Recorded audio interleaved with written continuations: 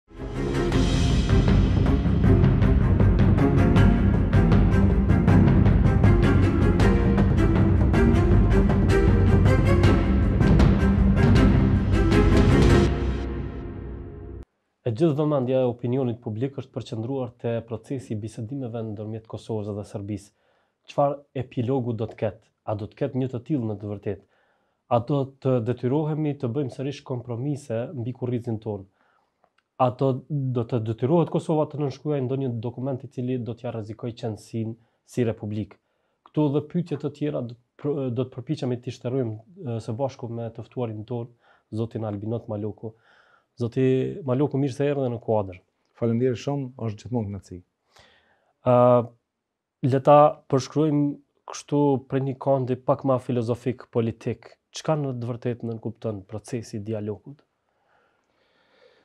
I nisur në dy mijë e njëmbëdhjetë-ën me karakter krejtësisht teknik në kuptimin e çështjeve të cilat në atë kohë interpretoi kishin të bënin me jetën e qytetarëve, lehtësimin e marrëdhënieve, procedurave, sidomos të udhëtimit, më pastaj dokumentacionit që ishte e rëndësisë së veçantë për arsye se menjëherë pas luftës i tanë dokumentacioni i Kosovës, si me thonë, e plaçkiti Serbia, pra dokumentacioni si tipit të librave amë, të kadastrit, ose ngjashme, Edhe çështjet e rrugëtimit të qytetarëve me tabelat e atëhershme që ishin KS të lëshume nga UNMIK-u.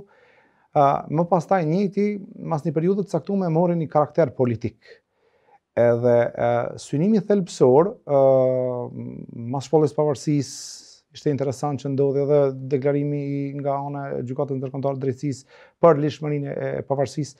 Edhe krejt kjo Prodhoi tani një dialog i imponuar gjithsesi, jo me vullnetin krejtësisht të Kosovës, që më pastaj u bë rutinë, në kuptimin që siç nuk mund të jetohej, të jetonin palët pa pas arsyen thelbësore të ekzistimit të dialogut, po themi ashtu. Dialogu teknik, dialogu politik ishte mendu që po, po merr një formë tjetër, sidomos mas 2013-ës mendimi ishte që tani do të Kemi një orientim më më ndryshe për faktin që ë i njëjti u konsideru historik për Kosovën, sidomos nga nënshkruesit e kohës, ë dhe ë thelbësisht u mendu që tani po merr një kahje më ndryshe. Nuk mori asnjë kahje. ë si me thonë nuk mori asnjë kahje që neve kishmi prit. ë përveç kësaj, Shumë nga marrëveshjet që u bënë prej 2011-s deri në 2013-ën, po dhe më pastaj posaçërisht Serbia nuk i jetësoi Bashkimi Evropian si lehtësues, nuk krijoi një mekanizëm për, si me thonë, për të gjetë fajtorin dhe për të bërë presion që të jetësoheshin ato marrëveshje. Edhe sot për shembull kemi probleme me çështjen e kata, letrave të katastrit ose me mosnjohjen e diplomave. ë Edhe ky dialog erdh në situatë me gjithë ato pengesa që rrodhën po flasim tash mas 2013, 14, 15 që uh, ishin procese zgjedhore në Serbi, procese zgjedhore në Kosovë, uh, edhe krejt kjo thithi vëmendjen maksimale nga gjithë garniturat politike për një çështje që në kushte normale do të duhej me qenë e kalume. E kanë shfrytëzu edhe për konsum politik dukët të dyja palët. Gjithsesi, gjithsesi, përveç si shfrytëzim për konsum politik, ka qenë edhe për marrje maksimale energjisë duke i abstrahu tema që kanë qenë ndoshta të rëndësisë më të veçantë që kanë prek drejtpërdrejt qytetarët. Sot kemi ardhur në një situatë ku pas një pauze të madhe të procesit të dialogut si të tillë, sepse u bë fenomen kjo, edhe jo jo pa arsye po përdoret zhargoni proces, për arsye se nisi me kohë gjatë, me forma të ndryshme. Por është interesant në momentin kur neve mendojmë që procesi i dialogut po merr ose ajo faze kalimi nga teknik në politik, me politik po përmbyllet, siç nuk u përmbyll, edhe këtë fazën tjetër tani nuk dim si me i dhënë emën. Dhe kur them nuk dim, po aludoj që nuk po flasëm për çështje teknike, ka nga ato që po përsëriten, shembull konkret, në qoftë se sot diskutohet për hapjen e zyrave ndërlidhëse ose nuk përdoret shprehja misione diplomatike në asnjë formë, ato veç ekzistojnë. Keni parasysh, ishte interesant që prej që është hap misioni, zyra ndërlidhëse e Kosovës në Beograd, atje po festohet pavarësia, dhe ishte një, një lajm bombastik në media në Serbi, sepse ndodhi kjo, sepse u pranu si mirëqen, pavarësisht mosshpjegimit se zyra ndërlidhëse e Kosovës në Beograd është në kuadër të zyrës së Bashkimit Europian, që ka qenë njëni prej, si me thënë, edhe pjesë e marrëveshjes. Pra, janë situata që duken sikur ka një, reinkarnim, po themi ashtu në kuptimin e asaj çfarë është diskutuar dhe asaj ça po diskutohet edhe sot. Aktualisht dialogu mes Kosovës dhe Serbisë është në fazën jo përmbyllëse, për arsye se marrëveshja ashtuquajtur ose plani ashtuquajtur franko-gjerman seç nuk e përmbyllë këtë çështje, ose këtë sagë dialogu që po bëhet, ka qenë neveritëse në kuptimin edhe të asaj që e thamë përpara të rritjes maksimale të energjisë.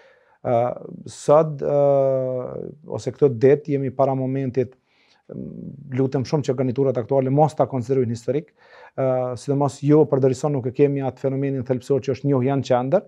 Je skeptik se do të si me thënë, do të përfundojë si proces ose do të kurorëzohet me një marrëveshje konkrete? Është interesant, në qoftë se kemi dy mijë e trembëdhjetë një marrëveshje, tani dy mijë e njëzet e tretën, pra është një dhjetëvjeçar, është një dekadë, dhe me planin franko-gjerman, nga ato dromca që kanë dalë informacion ose në medie, nuk parashihet kërkon që ky të konsiderohet proces i mbyllur. Është pajtim në proces.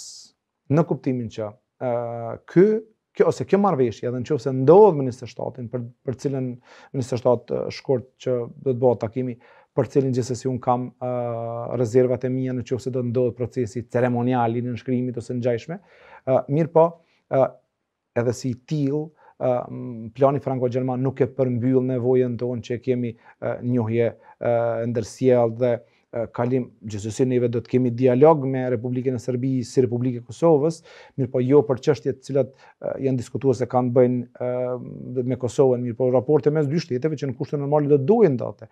A ndodh edhe në qoftë se nënshkruhet me 27 shkurt ky plan i cili është konsideru nga Kosova si bazë e mirë për diskutim, a do të nënshkruhet, ose pas nënshkrimit a do të përmbyllet kjo sagë e dialogut, unë them se jo, mirëpo kjo është ajo çfarë është ofrue nga ndërmjetësi, dallimi ndoshta është që Në kuadër të kësaj marrëveshje është, përmendet në në në, në disa prej neneve aty, të, që Bashkimi Evropian do të krijojë një mekanizëm mbikëqyrës të jetësimit të marrëveshjeve. Për një fazë. Për një fazë të caktume gjithsesi, dhe e, kjo është risia në këtë farë procesin e fundit. Në qoftë se do të bëhet, atëherë ka një shpresë që palët nuk do të gjejnë mënyra për t'i eski për t'u eskivu nga obligimet që i kanë marrë. Në qoftë se deri më tani nuk është bo presion ndaj Serbisë për mosnjohjen e diplomave, për kadastrat, për problemin që kemi pas me targat, kalimit të kufirit, çështja stikers ose ngjashme.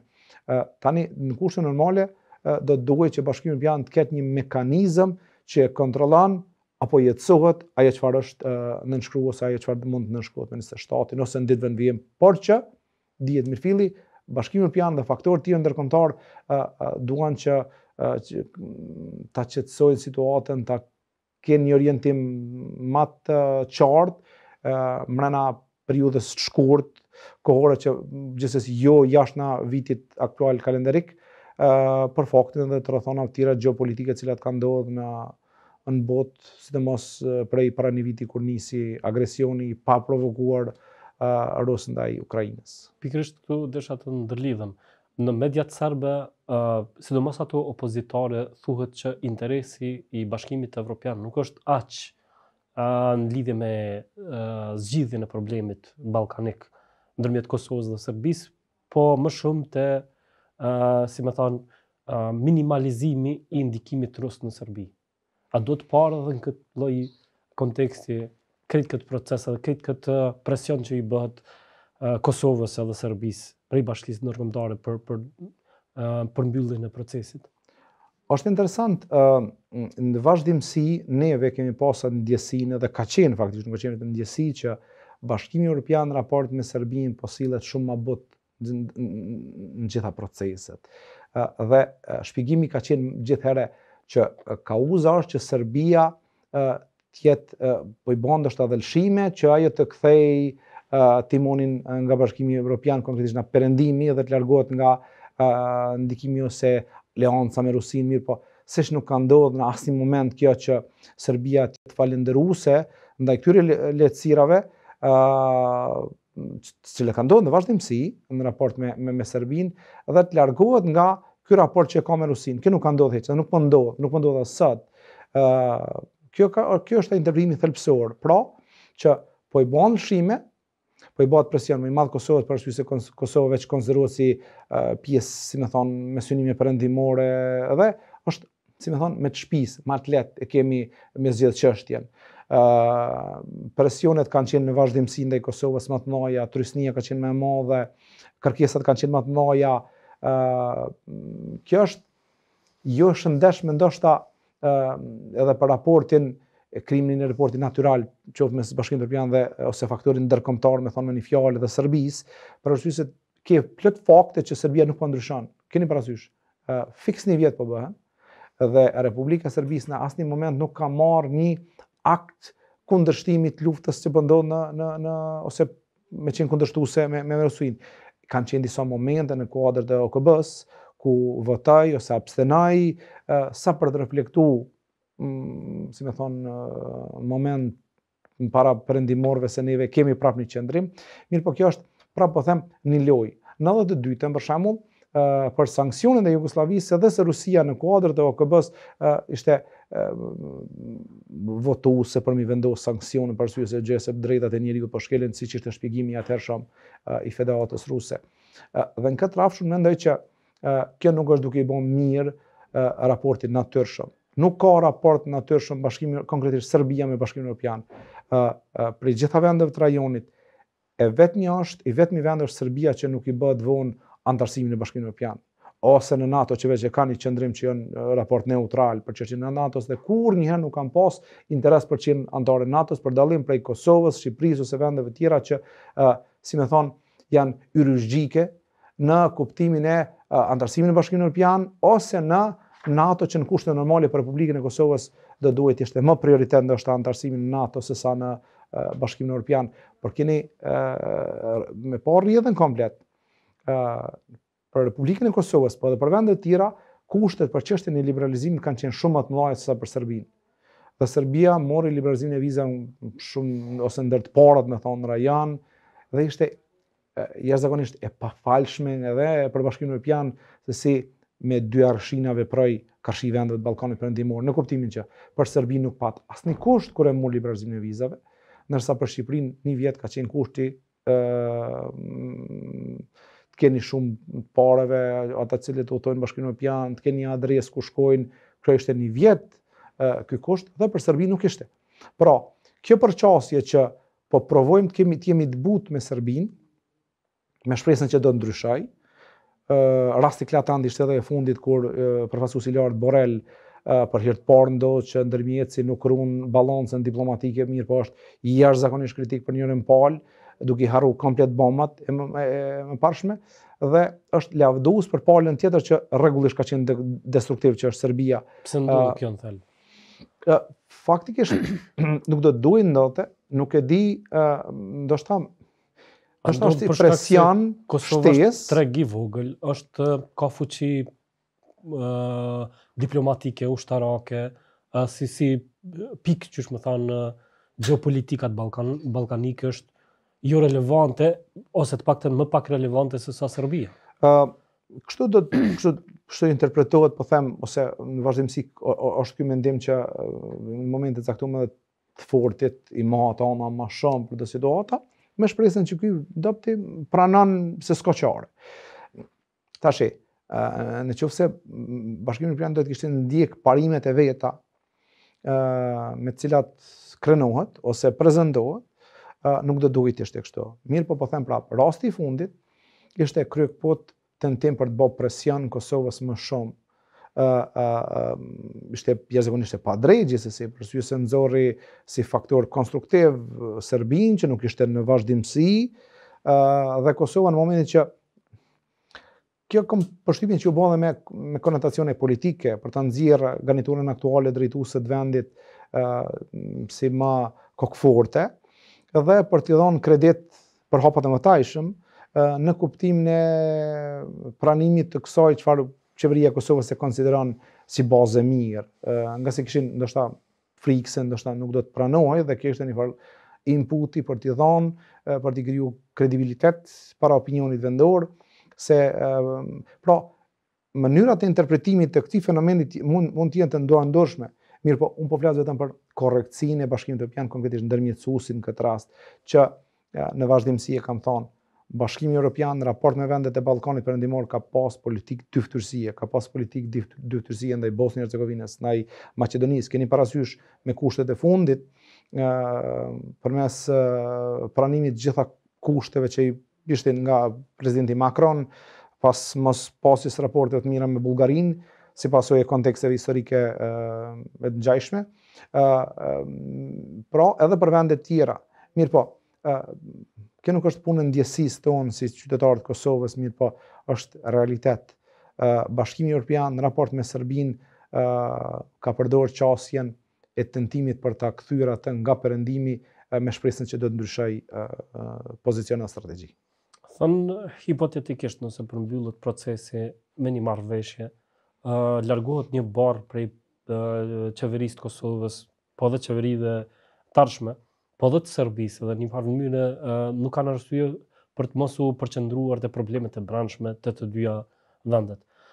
A, a do të ishte në këtë farë konteksti një marrëveshje e tillë e mirëpritur, natyrisht, me konotacione konotacione ma të buta ë edhe në kuptimin e relacioneve me shtetësinë e Kosovës që mos të ketë një republikë branda branda republikës.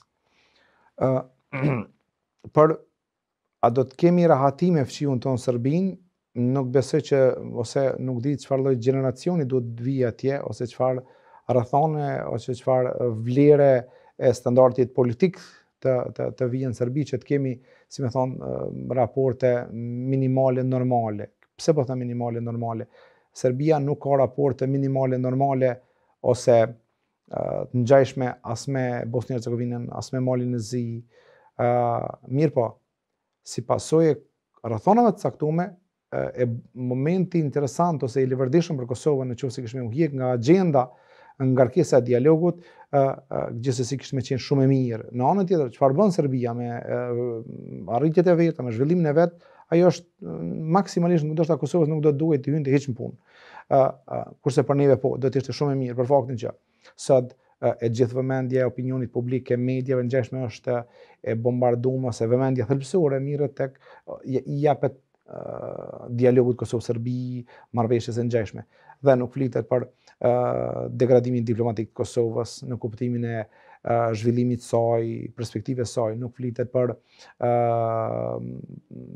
zhvillimin e arsim, arsimit, ekonomik, po, shëndetësi, shembull konkret ishte njëri prej premtimeve që ai qeni topall në Qendrën Klinike Universitare do të nuk do të ishte ato para disa dite i rashë asaj dhe është ajo që është e dhimshme është që ai kishte cof qeni.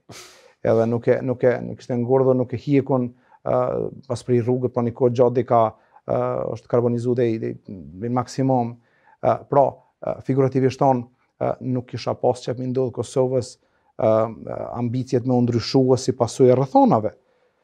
Dhe në këtë rrafsh unë konsideroj që kishte me u hjek prej agjendës dhe kishte me marrë prioritetet që kanë qenë thelbësisht premtim zhvillimi ekonomik, lufta kundër krimit dhe korrupsionit që në këtë fushë, ka një gjë të prekshme, ka diçka në këtë farë premtimi, por që nepotizmi është pandryshueshmërisht vazhdon i njëjti, i njëjtë, po qoftë politik, qoftë familjar, pra janë fenomene që me shpresë kishin me u largue, nga kjo ngarkesa që po e thith gjithë energjinë e qeverive, jo vetëm ksaj, por gjitha qeverive, dhe kishin me u përqendru në diçka që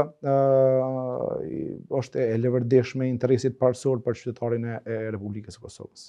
Vuçiqi që i ka fitu zgjedhjet me radhë qe disa vite është një prej figurave kryesore në skenën politike serbe. E ka shfrytëzu Kosovën, madje, në këtë kontekst për fitimin e votave. këtë mënyrë, një farë mënyre edhe qeveria aktuale ka ardhë me premtime megallomane në lidhje me edhe me procesin e dialogut. Si është ndodhur, si është, si është përballur me këtë proces, sepse është proces i pakthyshëm një farë mënyre, ndoshta nuk mund t'i vihet faj pse është përfshirë në dialog Jo, keni drejt, domethonë, fajnë, asesi, po. për arsye se dialogu ka qenë, edhe sikur mos kish qenë kjo garniturë aktuale drejtuese, një garniturë tjetër prapë, kish me marrë barrën e, për arsye se shteti ka memorien e vet të vazhdimësisë institucionale, dhe çdo veprim është barrë për tjetrin ose përparësi ose të ngjashme.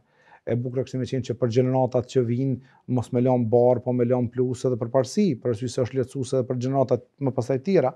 Mirëpo, Përballja me ato çfarë kanë ndodh ose si kanë rrjedh komplet marrëveshjet, raportet, mënyra e funksionimit, ndërtimit ligjor, kushtetues të vendit e të ngjashme, pra kanë memorie.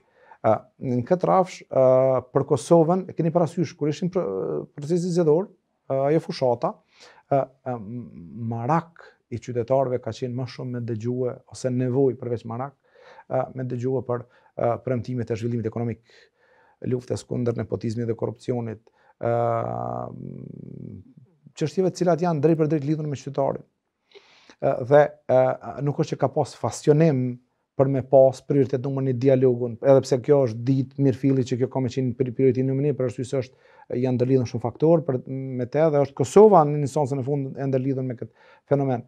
Në anën tjetër, Serbia kartën e nacionalizmit vet do ta shfrytëzojë gjithë e ka shfrytëzu, gjithë ka për ta shfrytëzu, edhe kjo është, uh, unë e thashë në fillim, vlerat e standarde çfarë është e mirë për mënyrën e funksionimit të mendësisë serbe të ose të politikës serbe, neve nuk kemi mundësi me ndryshua. Keni parasysh, nuk ka mujt me ndryshu as Kroacia që për shembull po bëhet sot me dhonë shembullin më të mirë të mundshëm se si lëvizet me hapa shumë të shpejtë dhe sot nga vendet e ish-Jugosllavisë në kohë rekorde Kroacia është e anëtarësume në të gjitha mekanizmat.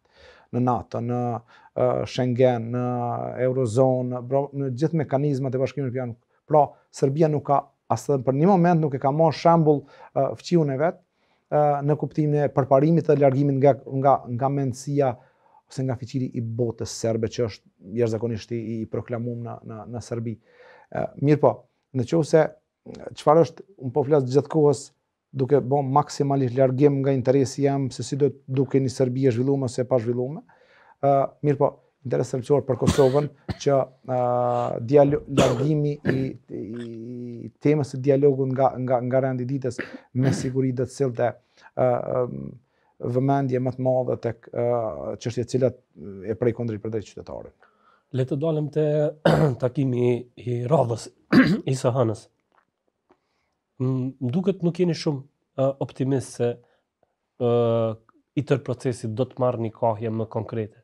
Ndoshta marr, nënshkrim të marrëveshjes nuk do të ketë mirëpo ndoshta do të do ta dimë më më më qartë se ku do të ndodhen Kosova dhe Serbia në raport me njëra tjetrën. Uh, po mendoj në çfarë uh, si e sheh uh, takimin e së hanës, çka pret më konkretisht prej prej tij. Ë uh, Çështja parë, edhe si me thon, po përsëritem këtë, ë uh, ceremoni uh, nuk po muj me e pa.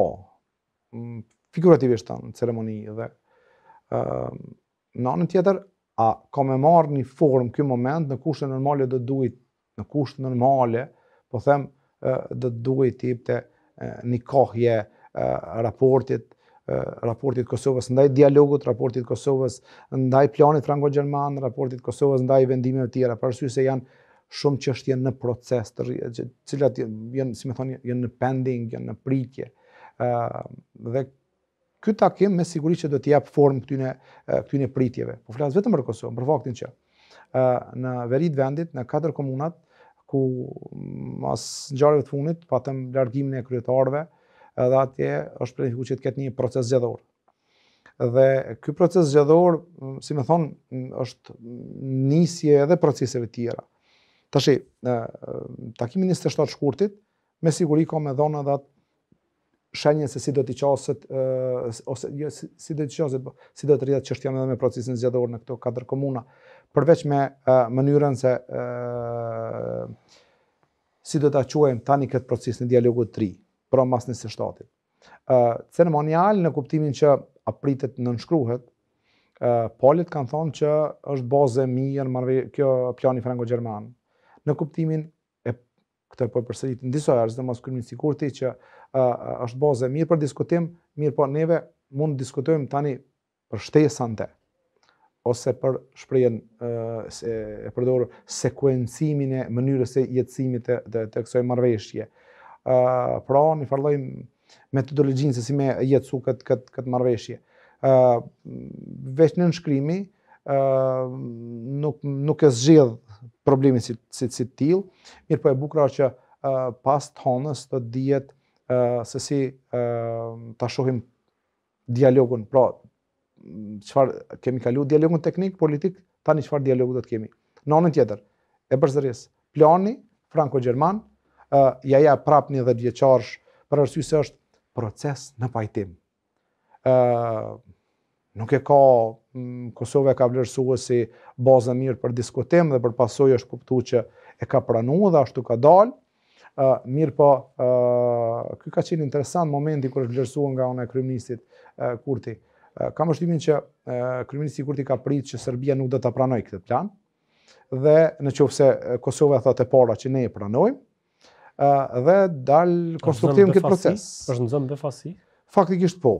Unë konsideroj që po, për faktin që në qoftë se e kujtojmë kryeministrin Kurti figurën e tij si opozitar, dhe me i thënë një dokumenti, me i thënë nota kaq të mira, vlerësuse, me një kohë, edhe pse është diskutuar dy vite për këtë, pavarësisht faktit që ka qenë i fshehur me arsyetimin që është rujt besueshmëria e procesit, jo transparenca më s'ka, mirëpo është diskutuar për këtë çështje, pra ka pas një ide, keni parasysh përfaqësuesi Lajçak ishte ardhë në Kosovë, vitin e kalu në shtator dhe thotë se neve kemi marrë dhe rekomandimet nga palët, në kuptimin që çështja është hapë në gusht, në shtator janë dërgue rekomandimet dhe vërejtjet e palve, pra është një diskutim i, i, i gjatë kohor për këtë çështje. Dhe në këtë rafsh, unë them se uh, Pranimi i shpejtë nuk i lën shumë hapësirë tanimë të manovrojë me kundërshtinë e të njëjtit, pavarësisht pse nuk e përmbyll. Neve rregullisht interesi ka qenë që të ketë njohje në qendër dhe të përmbyllet saga e dialogut Kosovë-Serbi.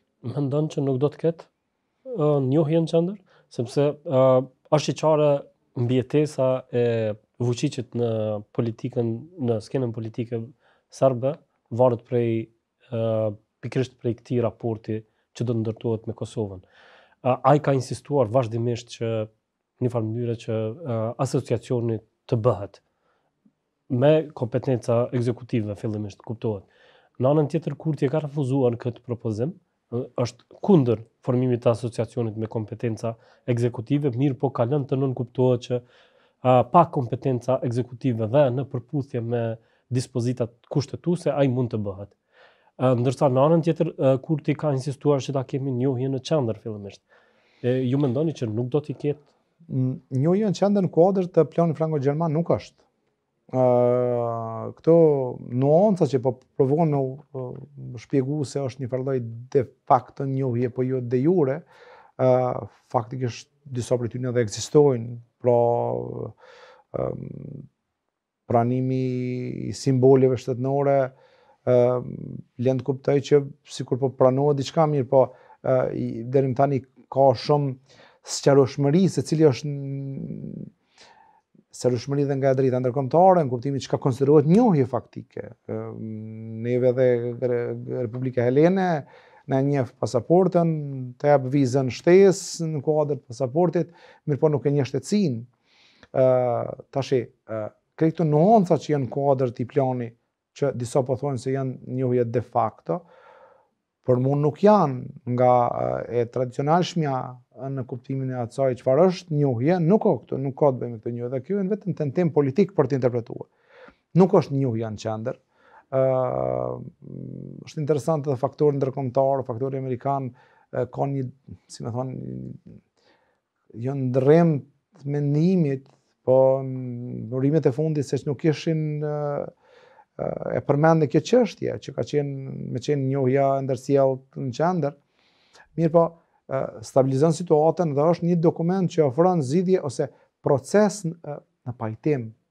Në kuptimin që pas 10 viteve diskutohet edhe për diçka tash, kur do të vijë ai momenti, kur do të pjeken kushtet që të kemi faktikisht njohje, Faktikisht pranim nga ana e Serbisë, unë nuk e di, për faktin që kurkush s'e ka paramendu që do të shkojnë 10 vite, dhe të kemi fiks mas 10 viteve dhe një moment, nuk po e them historik, por po një moment të ngjashëm, për nga pesha në kuptim e pranueshmërisë, sepse ka reinkarnim shumë gjanave në këtë dokumentin e fundit, nga ai që ka qenë më përpara.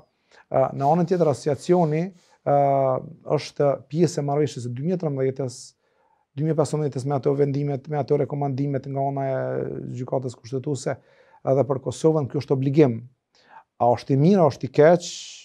Gjithsesi, ky vlerësimi është me qenë shumë i drejtpërdrejtë, nuk është me qenë shumë i mirë dhe në shpërputhje totale edhe me vlerën multietnike që ose kushtetuta që jep për shtetin e Kosovës. mirëpo është bo obligim për Kosovën. Në kuptimin që edhe në kuvendin e Kosovës është shko është ratifikua. Pra, tashi, ne me mujë me thonë, po nuk e ka në shtetet tjera. Mirë, mirë, momenti është 17 shkurtit, bashkësia ndërkomtare, njohësit e pavarësisë së Kosovës thonë që, ose edhe arsyeshmërinë që japin, thonë, është rast sui generis. Dhe kjo sui generis prodhon edhe këto situata sui generis, raste shumë të veçanta. Asociacioni amerikanët gjithsesi kanë dhonë fjalën e tyre që ata thonë që nuk e duam një asociacion me kompetenca ekzekutive, nuk e duam një Republika Serbe dhe duam me respektimin e Kushtetutës së Republikës së Kosovës. Kjo është një mjaftueshëm një farë shenje që kjo, ky obligim ka për t'u jetësu. E shto pjesës asoj që në kuadër të planit franko-gjerman në njënën prej neneve nga ato që ka dalë në media, thuhet se Kosova Serbia janë të obliguara të respektojnë gjitha marrëveshjet të cilat kanë ndodhë ma përpara, pra prej 2011-ës e këndej. Edhe një pyetje, Si e sheh rolin e opozitës në këtë kontekst? Krijohet përshtypja që skena politike po, kosovare për një çështje kaq të rëndësishme nuk është mjaftueshëm e, e lidhur në një farë mënyre.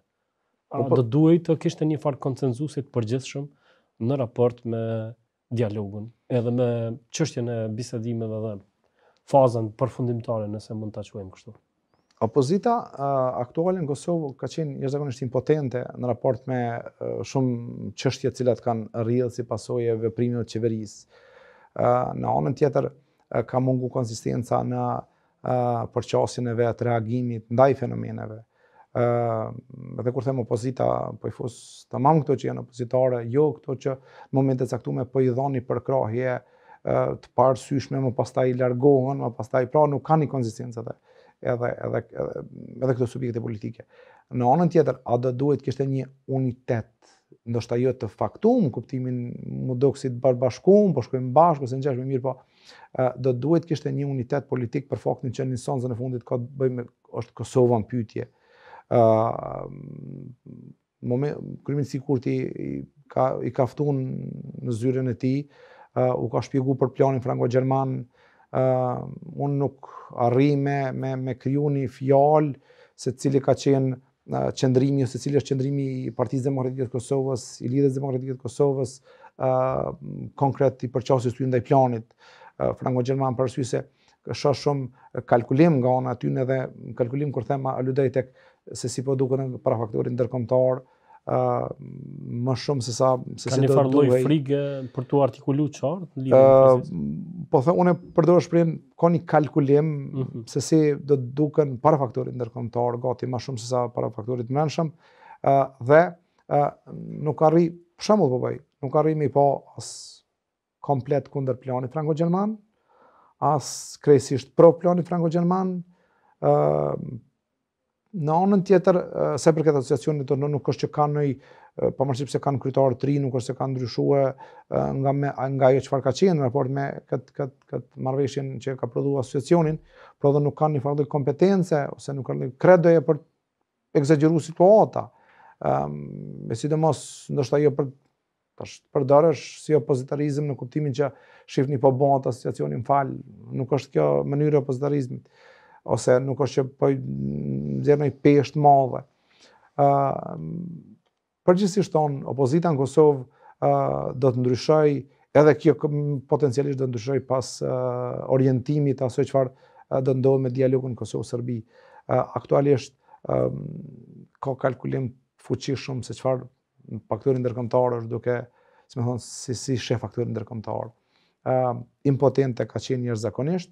ë uh, e mira është që uh, nuk po provojnë me i kthy praktikat e ish opozitës.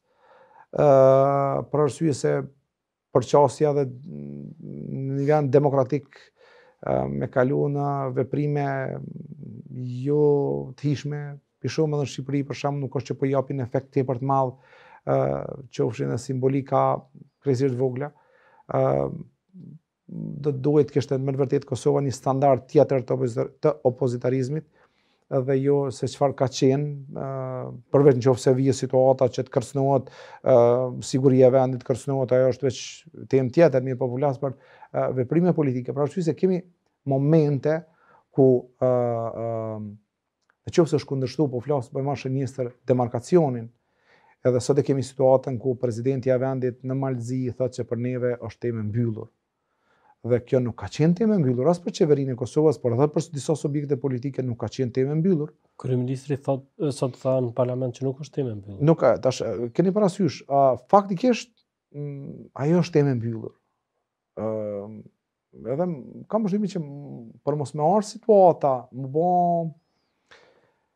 hallakamë e madhe në fund del jo jo i si jo i jo i sigurt, por që përveç i sigurt nuk del serioz në arenën ndërkombëtare në qoftë se bohen kso veprime që duken jashtëzakonisht po kërcet lufta në moment e shohim mas një periudhe kalohet e thuhet që për neve është e pranueshme. Pra, një standard i ri i të bërit opozitë. Ë lutem shumë që mos të përsëriten në asnjë mënyrë për arsye se shkatërrimi i objekteve publike në emër të opozitarizmit nuk është shumë imazh i mirë. Zoti Maloku, faleminderit shumë që gjete kohë për këtë bashkëbisedim. Faleminderit, është gjithmonë kënaqësi me bisedu me ty. Miq të nderuar, ishim me Albinot Malokun, politikologun e njohun edhe njohësin ma të mirë të këtyne rrethanave. Faleminderit shumë. Faleminderit për juve.